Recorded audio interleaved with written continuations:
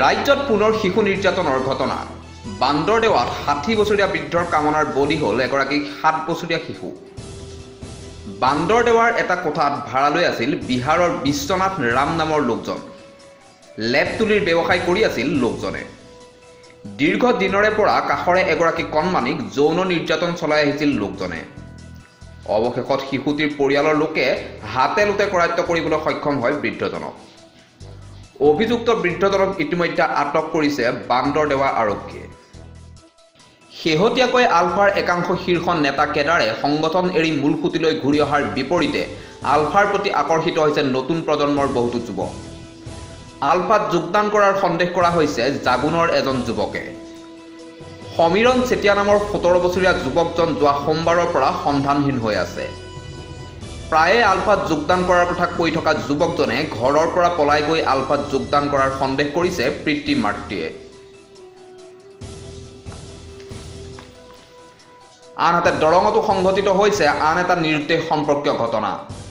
ছদিন ধৰি সন্ধানহীন হৈ আছে অশ্বিনী কুমাৰ শৰ্মা বৰুৱা নামৰ এজন শিক্ষক। টোকন কাটা বিষ্ণুৰাভা হাইস্কুলৰ বিজ্ঞান শিক্ষকজনে পুৱা নিজৰ মটৰ চাইকেলেৰে ওলাই গৈছিল নিজৰ বিদ্যালয়লৈ। কিন্তু তাৰ পিছৰে পৰা ঘৰলৈ ঘূৰি অহা নাই শিক্ষকজন। ৰূপহী ঘাটত সংঘটিত হ'ল এক কৰুণ ঘটনা। পথ দুৰ্ঘটনাত থিতাতে নিহত হ'ল এটি কণমানি শিশু। পুৱা পথত মাতৃৰ লগত খোজকাঢ়ি আছিল শিশুটিয়ে। তেনেতে এখন তীব্ৰবেগী ইণ্ডিকা গাড়ীয়ে মহতিয়াই নিয়ে শিশুটিক। ফলত থিতাতে নিহত হয় শিশুটি।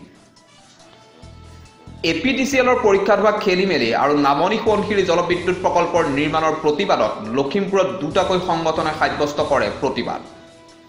এ পি ডি চি এলৰ পৰীক্ষাত হোৱা বিসংগতিৰ প্ৰতিবাদত প্ৰতিবাদ সাব্যস্ত কৰে সদৌ অসম নিবনুৱা সন্থাই শক্তিমন্ত্ৰী তপন গগৈ প্ৰতিকৃতিত দাহ কৰি পুনৰ নিকা পদ্ধতিৰে পৰীক্ষা অনুষ্ঠিত কৰাৰ দাবী জনাইছে সংগঠনটোৱে। আপোনালোকৰ সংবাদ মাধ্যমৰ জৰিয়তে প্ৰচাৰ হৈছে।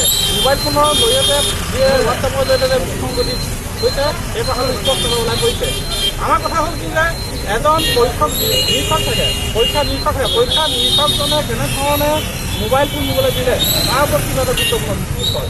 যিহেতু পৰীক্ষা নিৰীক্ষকজনলৈ ইনষ্ট্ৰাকশ্যন আহিব লাগিব ওপৰৰ পৰা ইনষ্ট্ৰাকশ্যন আহিব লাগিব যে মোবাইল ফোন ব্যৱহাৰ কৰি আমুক আমুক কেণ্ডিডেট ইমান মান নম্বৰ কেণ্ডিডেট মোবাইল ফোন ব্যৱহাৰ কৰে তেওঁলোকক যাতে আপোনালোকে নধৰে কাৰণ নিশ্চয় জানে আপোনালোকে আজি বেহা চলিছে। নিযুক্তি ক্ষেত্ৰখনত বেহা চলিছে। সেই বেহা চলিব যাওঁতে সেইসকল প্ৰাৰ্থীয়ে সেইসকল প্ৰাৰ্থীক সম্পূৰ্ণ সুযোগ সুবিধা প্ৰদান কৰিব লাগিব। নহ'লে কিন্তু তেওঁলোকে কেতিয়া পৰীক্ষাত উত্তীৰ্ণ হ'ব নোৱাৰিব।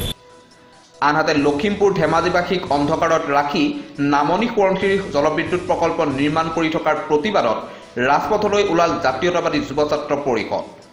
লখিমপুৰ চহৰৰ খেলমাটিত মুখ্যমন্ত্ৰী আৰু এন এইচ পি চিৰ প্ৰতিকৃতিত দাহ কৰে সংগঠনটোৱে।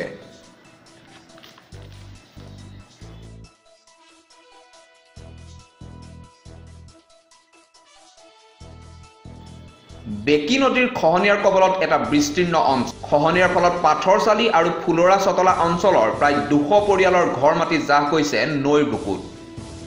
আহোম আৰু মানৰ শেষ যুদ্ধ হোৱা হাজিৰা চকীও ইতিমধ্যে বিলীন হৈছে নদীৰ বুকুত।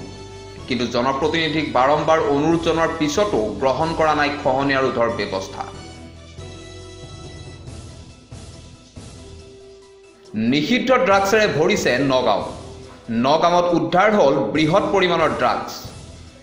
নগাঁও সদৰ থানাৰ উপ পৰিদৰ্শক গৌৰৱজ্যোতি মহন্তৰ নেতৃত্বত আৰক্ষীৰ দলে বেঙেনাআটিৰ চাইফুল ইছলাম নামৰ ড্ৰাগছ ব্যৱসায়ীটোৰ ঘৰৰ পৰা উদ্ধাৰ কৰে পাঁচশ সত্তৰটা নিচাযুক্ত ঔষধৰ লগতে নগদ সাত হাজাৰ টকা। উদ্ধাৰ হোৱা ড্ৰাগছখিনিৰ মূল্য কেইবা লাখ টকা। অৱশ্যে আৰক্ষীৰ হাতৰ পৰা পলাই সাৰিবলৈ সক্ষম হয় ড্ৰাগছ ব্যৱসায়ী চাইফুল আজি আমাৰ আজি ছাৰৰ নিৰ্দেশত আজি তিনিদিন ধৰি